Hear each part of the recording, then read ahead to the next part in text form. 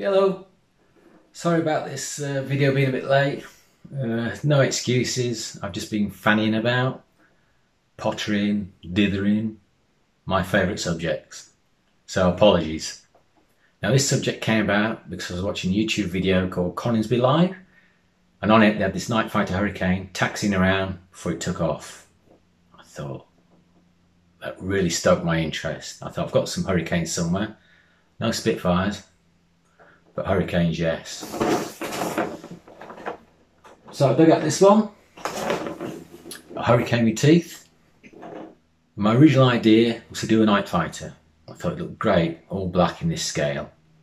And then it progressed to maybe an Australian one in a natural finish, all the bare metal and the contrast with the canvas. And then I found out that most, I think all, those silver planes were painted. I read somewhere that I think was a one Rhodesian Hurricane that was left natural, natural finish. But I really wanted a bit more choice than just the one aeroplane. I do stand corrected on those. There may have been a natural finish Australian Hurricane, but I didn't uh, see any to hand. So I thought I'll leave it for now and get on with the build. I can decide when I get to that point. And then when I got to that point, I was still scratching my head on what to do. So I bit the bullet and decided to do the Mediterranean look. Not my ideal colour scheme, two pooey browns and a bright blue underneath. No. I may have chosen the offerings supplied with the kit, but one was very basic, very bland, and the other one was too garish. So in the end, I ended up creating my own stencils for a hurricane that particularly stood out to me.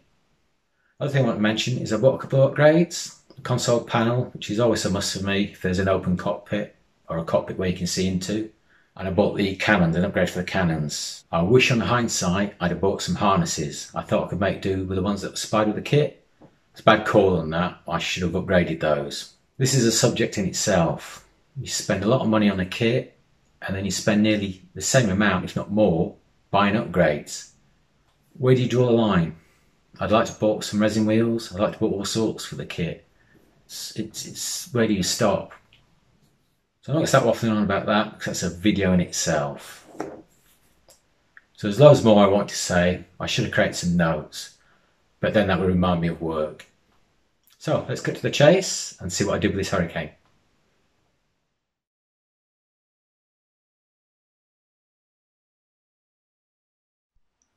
Surface detail, in some areas it's quite restrained, in some areas it's in your face.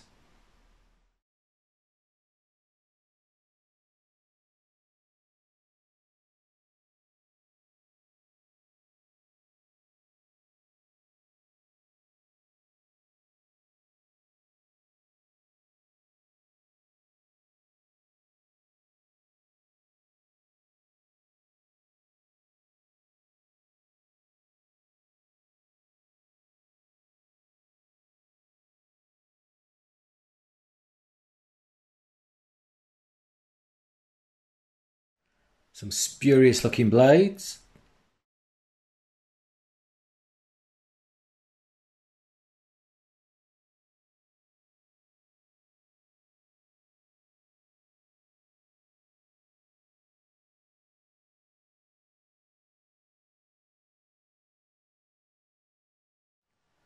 Trim to clear parts. They're always sharp and clear. Accuracy? That's another question.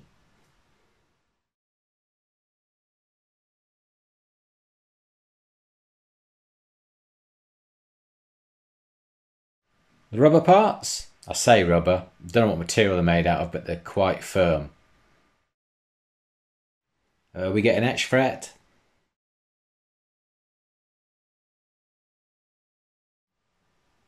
We get two options within the kit.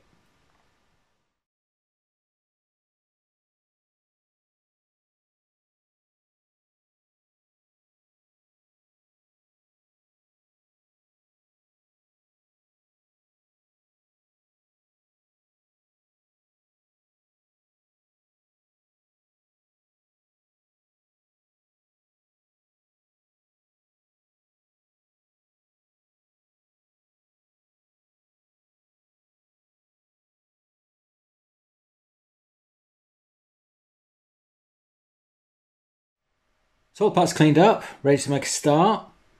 There are some parts that I haven't bothered with because for the simple reason we're not going to see them. Build them if you want. No one's going to see them.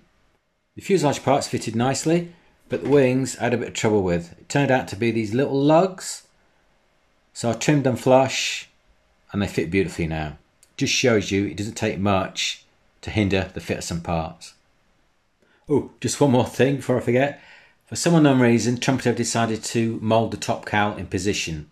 Now, on the old Airfix 124 scale kit, the top cowl was removable, so you got to see the internal framework as well as all the internal gubbins. So I've supply all this engine, but you ain't going to see much of the two little quarter panels that they've decided to leave open. I don't know what to do about that yet, but either way, I'm going to show you how the engine goes together and what it looks like painted. Before I start assembly of the engine, I just want to show you these horrible rubbery harnesses. Ignition leads, ignition harnesses. They're dreadful.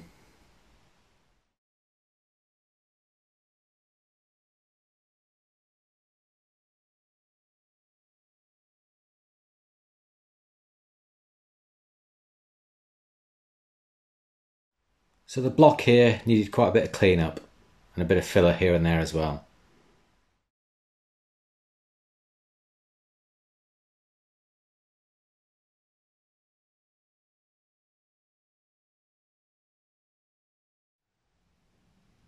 So I've decided to replace these rubbery parts uh, using plastic rod. I just think it's going to be easy to attach and to paint.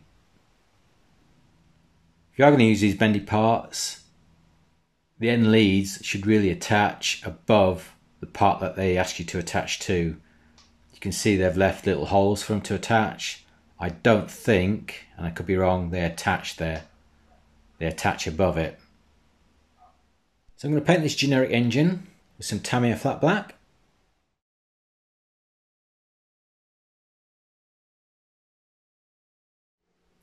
With that black paint thoroughly dried, I'm just going to use some graphite lead and burnish it on the surface.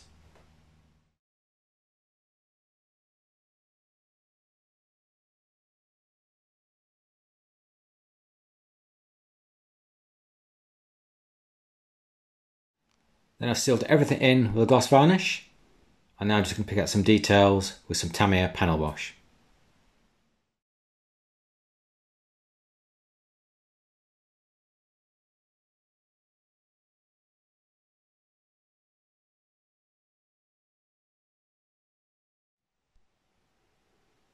So I'm going to make a start on the cockpit area, Got all my parts cleaned up.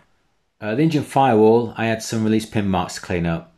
The easy ones to get at filled in with filler, no problem. But the ones at the bottom here with the detail where the undercarriage bay is, I've used some plastic card to cover those up. It's a quick fix. Not accurate, but quick. We get some details for the cockpit, i.e. the film for the dials. I'll talk about the console later. And we get some etch fret with the harnesses. With any etch fret, I always clean it with a bit of light fluid. I also mark or score the back of the surface. I find this helps when it comes to gluing these parts. We get a nice little map case to make up. Although I always like to think that Hurricane Pilot puts his sandwiches in here. Peanut butter, anyone? On one of the side consoles, we get lots of little fiddly plastic parts to attach. Yippee. I always use a bit of Tamiya Clear. This just gives me a bit of lead time to fiddle about getting these in the right position. Once that's dried, then I fix that permanently with super glue. With the harnesses left on the fret, I like to give them a gentle heat, not in direct flame or cook them to death, just a slow, gentle heat. This will make them more pliable, bendable over the plastic parts. So I'm ready to paint. Not to the engine in the right hand corner there, that's just acting as a jig at the moment, waiting for the glue to set on those engine mounts. Now to cut a long story short, I don't know what I was thinking but I applied silver first, let that dry thoroughly. It was a lacquer silver. And then I applied a custom mixture of interior green using Tamiya paints. And before the paint had set, I would scrape it off using a toothpick or my thumbnail. Well, this went pear-shaped badly and it looked awful. So I left it for a day or so, came back and decided just to see if I could salvage it. I used some metallizer to try and burnish and hide the mistakes. The next, add a bit of contrast to these parts, hopefully. I'm using olive green oils with a thin brush, just apply around the edges. And then with a dry, clean brush, try and blend it and smooth it in. Then after that, before deciding whether to throw all this lot in the bin, I'm using the interior green mixed with a lot of white to create some highlights.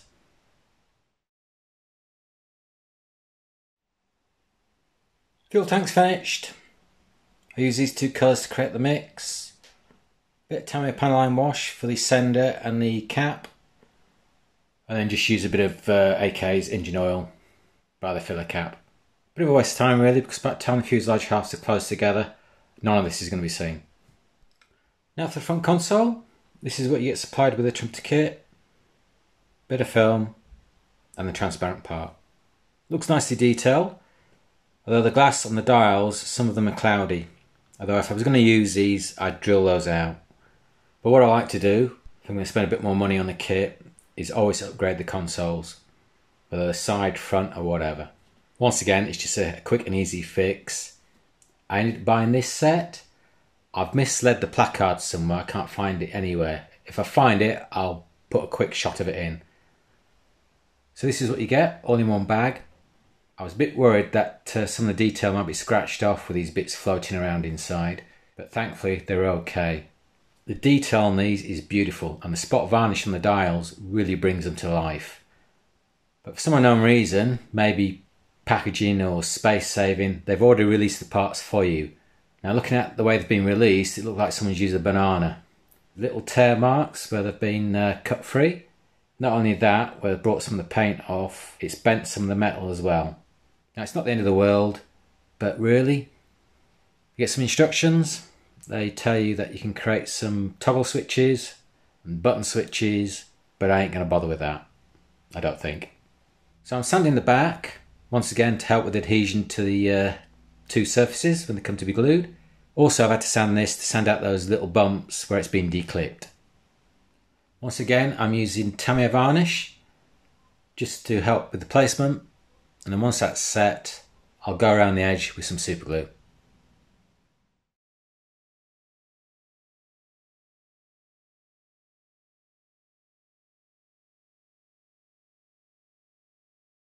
So with everything finished, I'm now ready to assemble all this lot. I started with the harnesses and I had an issue straight away. Even though I've bent these to shape, I found one part, this Y-shaped harness, didn't fit right, so you can see where I've trimmed it down considerably. I had thought this piece was wrapped around the seat, but I think it's actually attached to the harness above. Whatever the case, I've trimmed it down so it fits properly. I've been messing around doing this, I've taken some of the paint off. So I'm attaching the two side straps and they went on no problem.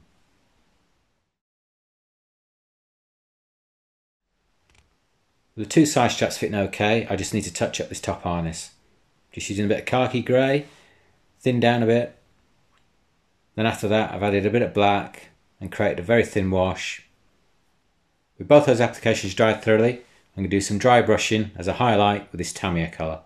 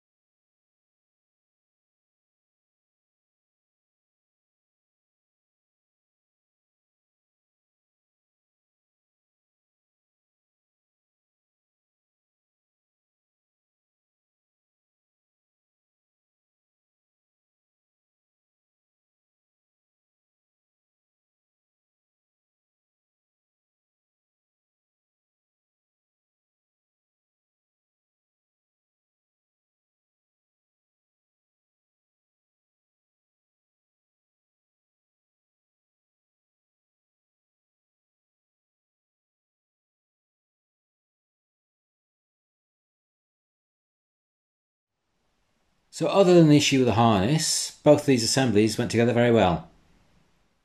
Thankfully that cockpit assembly looks a lot less generic than the engine assembly. The glue left to dry overnight, I can start fixing these two assemblies to the side of the fuselage. Thankfully we've got some nice big locating lugs and the fit's pretty good. But saying that, harness again, so it was either trim the back of the harness flush to the opening or take some plastic off the actual fuselage. So I did the latter and now it fits perfectly.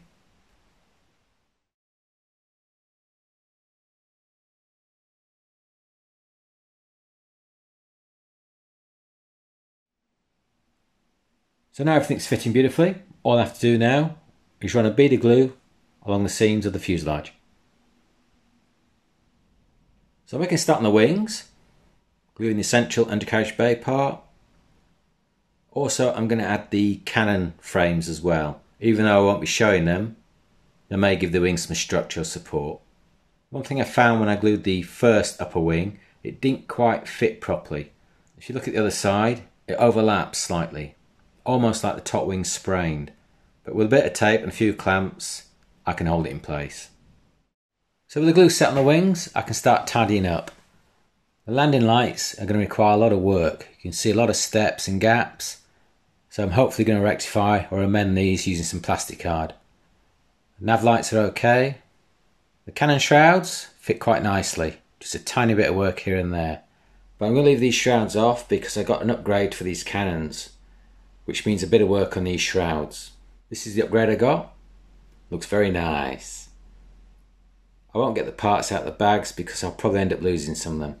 Instructions say that I take 2 mil off the end of the shrouds and then drill a 3.5 mil hole. So I'll get on with that. So using Tamiya tape, cut into 2 mil widths, wrap around the end. This will give me a good guide to cut off the excess.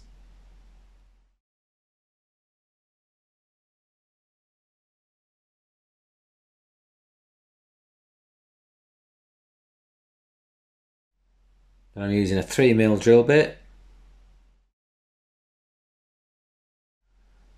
I'm just going to tidy up using a triangular file.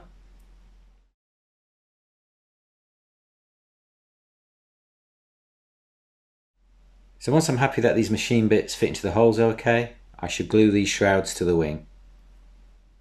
So the nav lights are on, and the shrouds are on, and I've tidied up those landing light areas. So you can see where plastic card has helped me out a lot.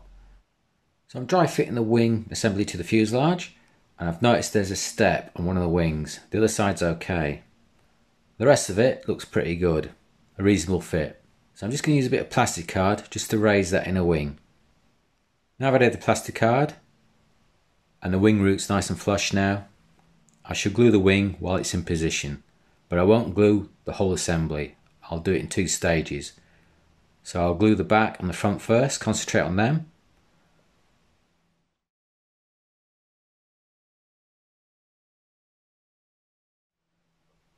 With stage one dry, I can go on to the next stage and concentrate on the seam between the fuselage and the inner wing. So the wing's dry and a bit of fettling here and there. The few little gaps that I did have, they were tiny enough to use Vallejo's putty. So I'm going to add the flaps now. You can show them down if you want, but the detail inside is very poor. There are upgrades out there if you wish, but I'm going to glue them in the closed position. Although saying that, I'll just leave a tiny little gap at the leading edge. And one thing I need to mention are the landing light parts in the kit. Once again, they seem very generic, or whether the later Hurricanes had a different type of landing light, I don't know. But I'm used to the one with the triangular framework. So once again, trying to scratch my head and think of a quick and easy fix rather than mess around with bits of wire or bits of plastic rod. I thought I'd create some artwork. Once I was happy with that, I reduced it down to 6mm, which is the diameter of the plastic part. And as you can see here, I've printed it out on some clear decal sheet and some silver paper. I've sealed the ink in with some Tamiya clear. After leaving that a good day or so to dry, I'm going to trim these out and see if they do the job.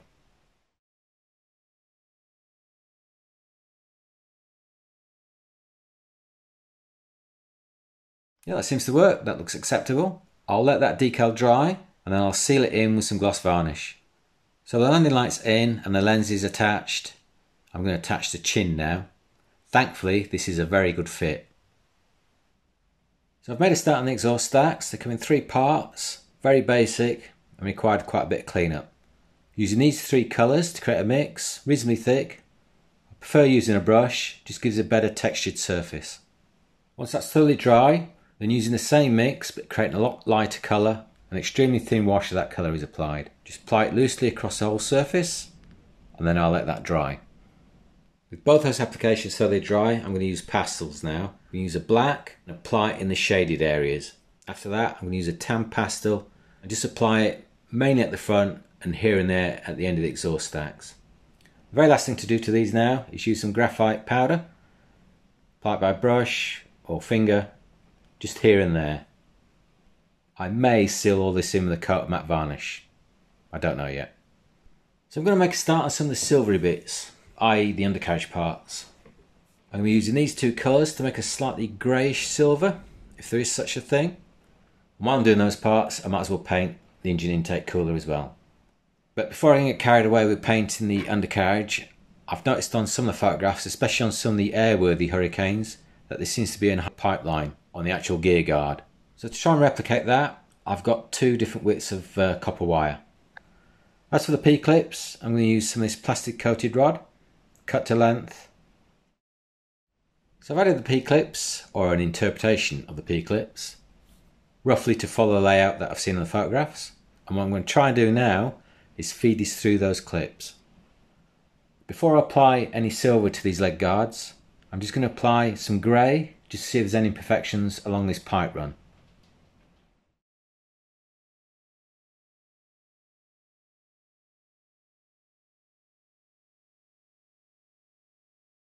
Next thing I'm doing now is picking out the detail with some panel wash. I use a custom mix panel wash using these two colours. Before the panel wash goes off, in other words dries, I'm just going to use a very small amount of white spirits just to tidy up around the edges. Before I add anything to these uh, so-called rubber tyres, I'm just going to feed the hub through and hopefully not take any paint off because they are an extremely tight fit. So I'm just going to try and see if I can get away with just adding uh, some surface dirt to this tread using a MIG pigment with some water. And yes, it looks like a giant skidder, I know. Just run the tread along the surface. Once I've done that, I'll leave it to dry. Then with a slight damp cloth, I'm just going to wipe some of the excess off to show that tread pattern, leaving the pigment actually in the tread. Now I think that's all I need to do to the tyre. I may change my mind later on, but for now, these wheels are finished. So I'm going to tackle the blades next.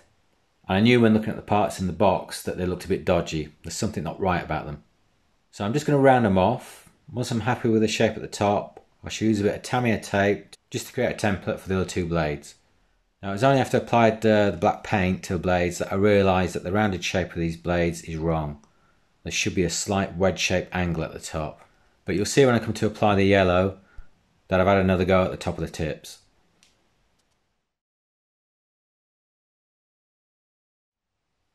Now to create a bit of wear and tear, I'm going to use a wet toothpick, also wet the surface of the blade and just try and pick the yellow paint off. Now I messed up here, I left that yellow tip paint to dry too long. This technique works best when the paint is still fresh. So because I've left the paint too long, I may end up taking some of the black off underneath. Now to weather the rest of the blade, I'm just going to use a greasy finger for the leading edge, and then for the trailing edge, I'll use a grey or white pastel. Last thing I've done with the blades is use a dry toothpick and just mark the surface slightly. So I just want to say a quick word about these uh, cowl pieces or quarter panel pieces, whatever you want to call them. Uh, they're, they're, beautiful. But what I was going to yak about was that uh, I cut these out, cleaned them out, and then I was just going to test fit them, see whether there were any issues. And I'm not joking, for an instant, I thought I was building a Tamiya kit. It's absolutely beautiful. Not a lip, gap, anywhere. What an exquisite fit. On both sides as well. I have to go for a lie down. So I'm back from my lie down. And uh, the next thing I'm going to do is probably going to be a waste of time. But that's the story of my life. You can see here I've masked off a certain area. This is what they call the doghouse. I'll be painting this a wood colour because it was all made of wood. Once that's done, I'll mask that off and then paint all the metal bits, AK's Xtreme Metal Aluminium. I think it's matte. The idea behind this is that uh, when I paint the final colours and wet sand them, hopefully these colours may show through. It may work, it may not. With both those applications thoroughly dry now, I'm going to add the primary colours. For the Azure Blue, I've used these two colours to make a mix. For the midstone, these two colours. And then for the dark earth, these two. These are the primary colours. I did add a few other colours, I messed around a bit.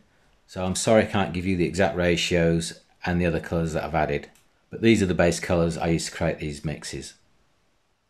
So I applied the Azure Blue first and while the paint's still wet, I'm just going to pick areas of wear and tear with a wet toothpick. I need to do this now because once the Tamiya paint's dried, it's going to be harder to do. So this needs to be done while the paint's still soft.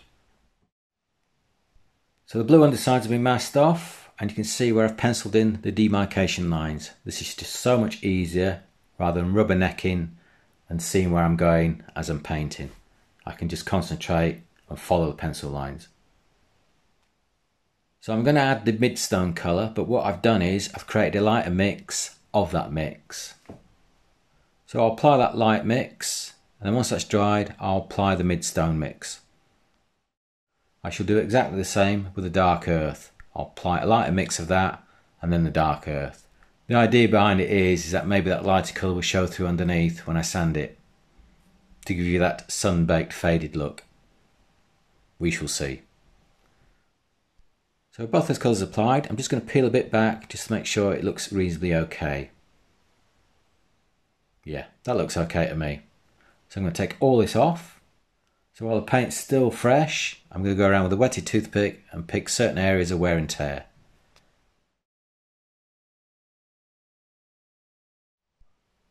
Now for this particular hurricane, which I chose very late on in the day, I'm going to have to create my own roundels, fin flashes and code letters. Yippee! Luckily, I've got some good plan drawings of this particular hurricane with the roundels and code letters. So the first thing I did was blow those images up to the required scale. And then I've used those to cut out my masks. So you can see here, I've done my fin flashes and my roundels. I'll do the code letters separately.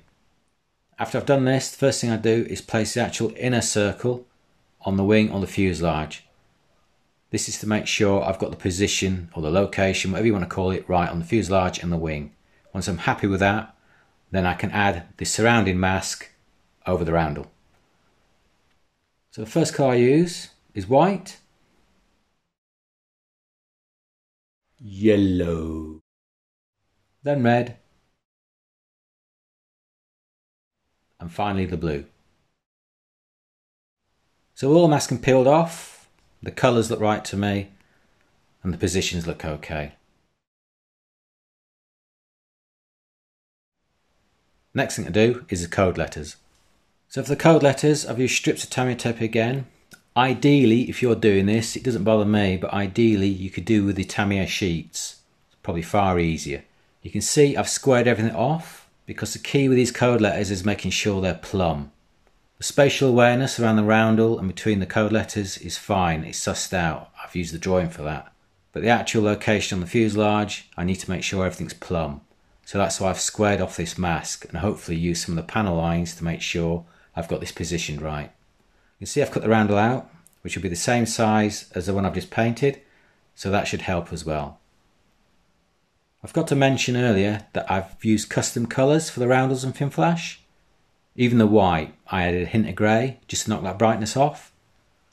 Even the code letters, even though they should be white, I'll tone down a bit.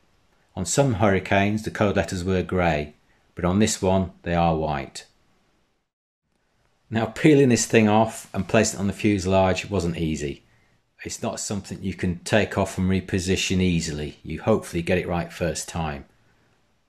So hopefully with that round roundel cut out and me squaring off the mask and lining it up with some of the panel lines, I'm hopefully got it right.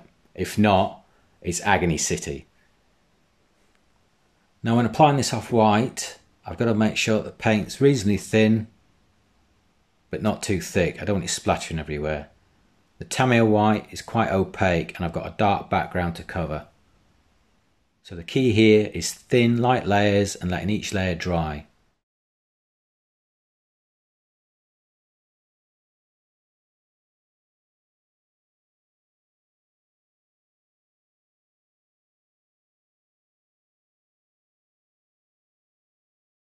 So what I'm going to do next is let this paint dry for at least a day, maybe two. Then the next thing I'll do is a light wet sanding of the whole paint surfaces. I'm just going to quickly mention the trumpeter decals that come with the kit. It has been said that on the roundels and the fin flash that the red's too bright and the blue's too dark. I can see that. Also that the code letters shouldn't be white. I don't know why this particular hurricane maybe, maybe they were the grey colour because hurricanes had grey code letters and white. But what I'm trying to say is that I was seriously considering using the decals. It's only because I didn't like the two options that were supplied in the kit. One was very garish and one was very basic, no code letters whatsoever. That's why I went down the route I did. So to me personally, they are usable, but it's down to you, whatever floats your boat. Although saying that, if you look at one of the stencils, it says first ard. I bet it was. So now I'm going to wet sand the surface. You can see where I've gone with the toothpick to get down to the silver bits. Perhaps a bit too much. I'm hoping a wash will hide most of that, or tone it down anyway. Now the whole point of wet sanding the surface is to give me a nice finish, but also I'm hoping those lighter colour browns that I added earlier on will come through. And I also want to make sure that the silver on the leading edge comes through as well, because they would have been well worn, down to the metal. You can see here I'm using some Tamiya tape just to give me a hard edge. Now the key here, and the golden rule is, less is more. It's so easy to go overboard. The other rule is, because I'm wet sanding, the water will hide a multitude of sins. You can be going at it, and before you know it, you're going down to the plastic. So the rule is light sand, wipe it dry, see what it looks like, and then go over it again, very lightly. If you're going to give this method a go, experiment on a gash bit of plastic. Don't be practicing on your pride and joy.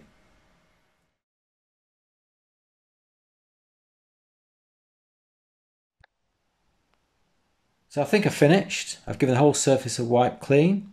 Now it doesn't have to be too clean because there's going to be no varnish applied to this. Once again, you can see why I use a Tamiya tape to give me some defined edges. Once again, less is more. I don't want this looking like a patchwork quilt. And it's so easy to do that. So the next stage, I'm going to add a wash. I'm going to use a Flory wash, dark dirt. I've thinned it down a bit. So I'm just going to pick out the panel lines. I'm not going to give this a blanket wash. I find if I do this, I keep the area within the rivet lines nice and clean.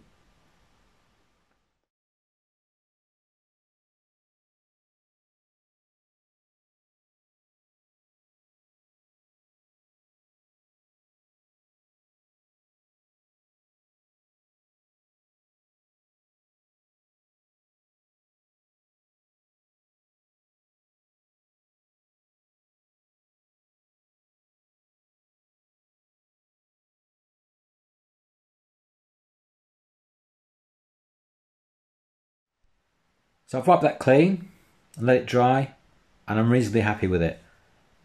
There'll be a few areas I need to go over again and I may use a Flory black wash for certain areas just to give it some contrast. Next thing to do is to get on with the cannons. So I'm just going to show you what you get in the kit as far as the cannons are concerned. I've already assembled the internal parts that fit within the wing. Once again, very basic detail for a kit of this size. You get two options with different types of recoil spring. But as we can see with the upgrade, we're light years ahead in detail. So as far as the springs are concerned, I'm not going to paint them, they look good as they are. But the other parts I'm going to paint satin black.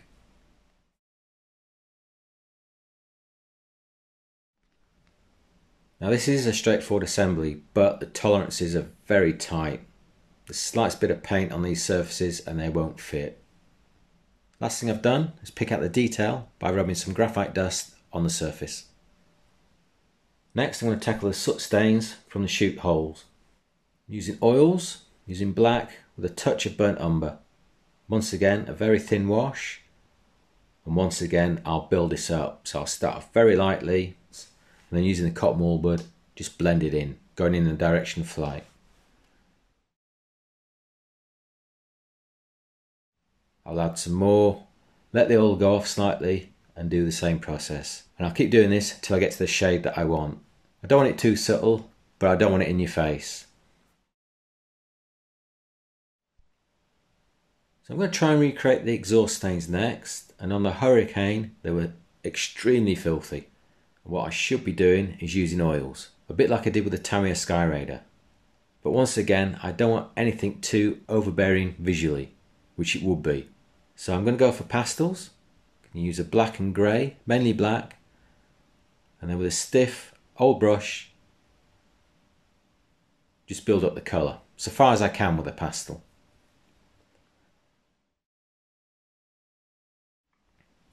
I'm going to add a bit of interest by using a bit of cartridge paper just to create some edges. And then once I'm happy with that, over the top of the black, I shall use a bit of grey and a bit of white.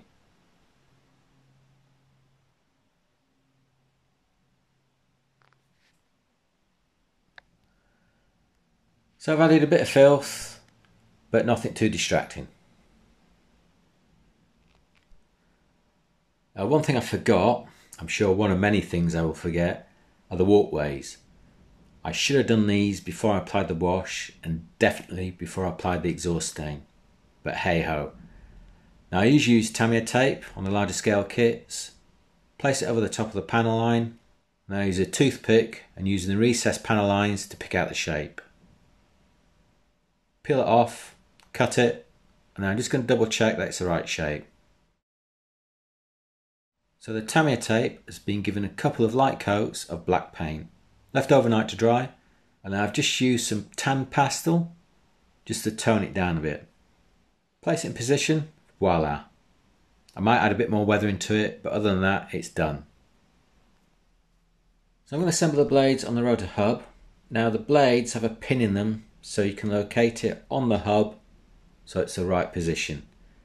I assembled the hub which means that I can't feed the blades through now because the pin's in the way. So I've cut the pin off and I've marked on the hub where the pinhole is. All very unnecessary, but it's the road I went down. Don't ask.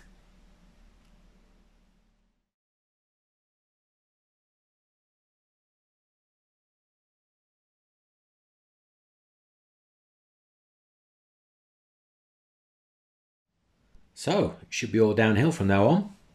That's tempting fate. I'm going to start off with a tricky bit, which is the aerial cable and the mast. Talking of the mast, I had to add a bit of plastic card, little wedge shape at the top here. I think it has a pulley where the cable runs through and into the fuselage. So I'm using this stuff, and the trouble with this stuff is that it doesn't like super glue. Go anywhere near it, it must be the heat that makes it all curl up. So it's all about tensioning this stuff and then adding the super glue, which I found very tricky. The exhausts.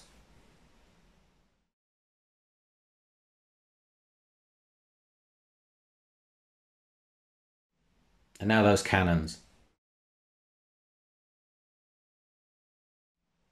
Those cannons were a good investment, if that's the right word. They really add something to this Hurricane. Now for the main undercarriage, I've added the bottle and the copper pipe. If you want to go overboard, there's loads of piping detail you could add from this bottle.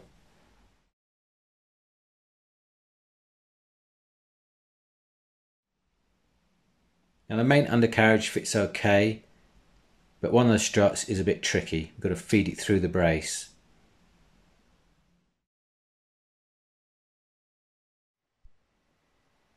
So there we are, finished. What can I say? Bit of a curate's egg maybe? That engine area baffled me. Supply an engine, but only show a little bit of it. Maybe that was a blessing, because the engine wasn't up to much anyway. If memory serves me right with the old Airfix 124 scale Hurricane, they supplied a lot more detail in the engine area, a lot more panels could be removed, and I think there's more detail in the cockpit area as well. The detail may have been soft and in light blue plastic, but there would be more of it That said, and I've said this before, we must be thankful that Trumpeter bring out kits like these. A range of Spitfires, a range of Hurricanes, a range of ME109s or BF109s in 124 scale. What more could you ask for? It is what it is at the end of the day, simple as that. So I think it builds into a reasonable kit. With a bit of effort, you can end up with a great Hurricane. So I hope you like the end results. I'll take a few pics. I want to thank you for watching, and I do hope to see you for the next video.